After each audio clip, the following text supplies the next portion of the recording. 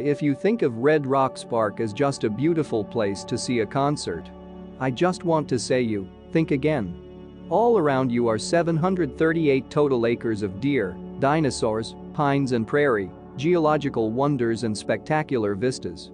At 6,450 feet above sea level, Red Rocks Park is a unique transitional zone where the Great Plains meet the Rocky Mountains. The diverse environment allows visitors to see plants, birds, and animals of both regions. Red Rocks Amphitheater is a geological phenomenon, the only naturally occurring, acoustically perfect amphitheater in the world. From Sting and the Beatles to opera stars and U2, every artist aspires to play on this magical, spiritual and emotional stage.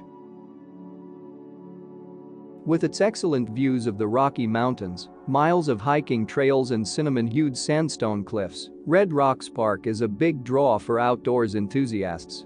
This impressive park offers visitors the opportunity to experience the fascinating geographic transition between the Great Plains and the Rocky Mountains. If you only have a short amount of time here, stretch your legs along the Trading Post Trail.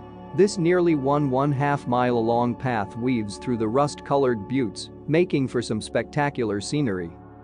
With multiple hiking and biking trails, it's also become a favorite outdoor space for active coloradans.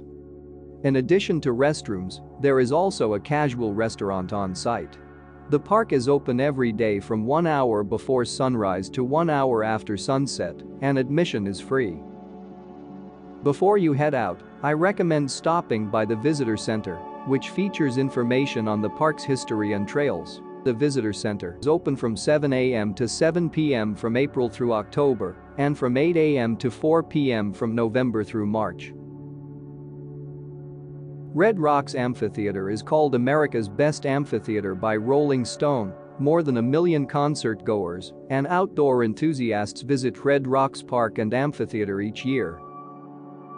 As the only naturally occurring, acoustically perfect amphitheater in the world, the venue is listed as a National Historic Landmark by the National Park Service and Department of the Interior.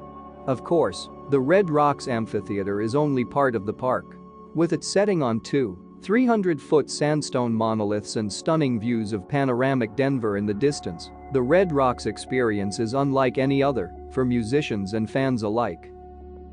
It's a world-class concert venue located in the foothills of Morrison near Denver.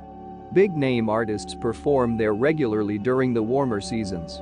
They also host other events, like their popular Summer Movies series, where they screen movies on the big screen to watch from the amphitheater. Concert tickets vary in price depending on demand. For more information on upcoming shows and ticket prices, visit the Red Rocks Park and Amphitheater website. The site link is given below in description. However, I want to say that no matter the show or movies, the majestic atmosphere makes it a good time. Even if you can't fit a concert into your schedule, I think the theater is worth a stop for the photos alone, while the park's visitor center features displays dedicated to past acts. You will need a car to get to Red Rocks Park, which is located about 16 miles west of downtown Denver. If you don't have your own set of wheels, you can also sign up for one of the best Denver tours, which make day trips to the park. So, don't forget to share your opinion about this beautiful, historic and geographically important place. If you don't visit this place yet, sit up and make a trip plan now. Thanks for watching so far. Meet you again in another video.